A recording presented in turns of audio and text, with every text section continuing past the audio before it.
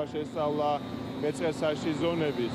ეხლაც ქალაქის სხვადასხვა უბნებში მოძრაობენ, ასევე რა თქმა უნდა მეტეოროლოგები, რომლებიც 24 საათიან რეჟიმში აკვირდებიან პროცესებს და ვცდილობთ რომ მაქსიმალურად სწრაფად მივაწოდოთ მოქალაქეებს ინფორმაცია, რადგან ოდნავი წვიმაც კი რა თქმა უნდა აშფოთებთ მათ. ამის გარდა ჩვენ ზურგს უკან მუშაობენ სატყეო სააგენტოს, დაცული ტერიტორიების რეინჯერები, ასევე ზედამხედველობის დეპარტამენტის თანამშრომლები, რომლებიც აი ამ ხერგილებს ასუფთავებენ